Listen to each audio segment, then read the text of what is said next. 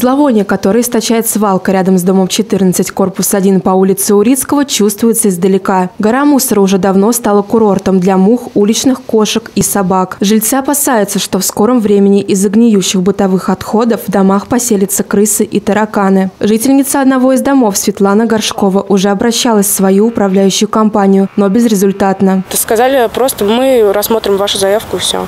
Я спросила вообще, почему на 6 домов нет ни одного мусорного бака. Она сказала, что это надо рассматривать, э, расположение, возможно ли вообще там баки поставить. Антисанитария какая-то вообще просто. Мусор сюда спихивают и спихивают уже постоянно. Собаки начали ночью бегать у нас стаи. На ребенка вот нападают.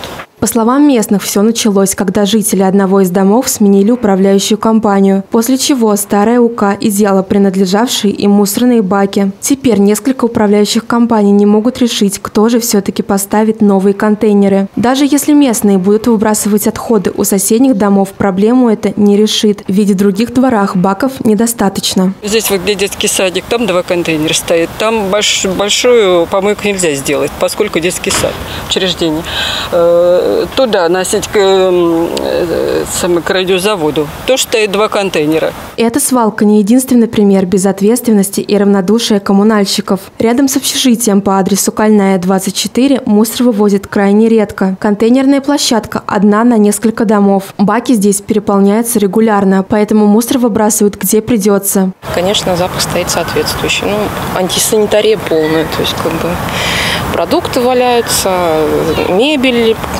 очень часто выкидывают старую сюда, там диваны, то есть крупногабаритные такие вот. Ну, и, соответственно, все это стоит, гниет. В нашем городе множество дворов, где не хватает контейнерной площадки или мусор вывозят нерегулярно. Если на жалобы не реагируют в ЖУ, то стоит обратиться в жилищную инспекцию или прокуратуру. К сожалению, эта проблема касается не только дворов, но и городских урн. Конечно же, стоит помнить, что чистота на улицах города зависит не только от работы коммунальных служб, но и от самих горожан. Анна Малистова, Игорь Глотов, телекомпания «Город».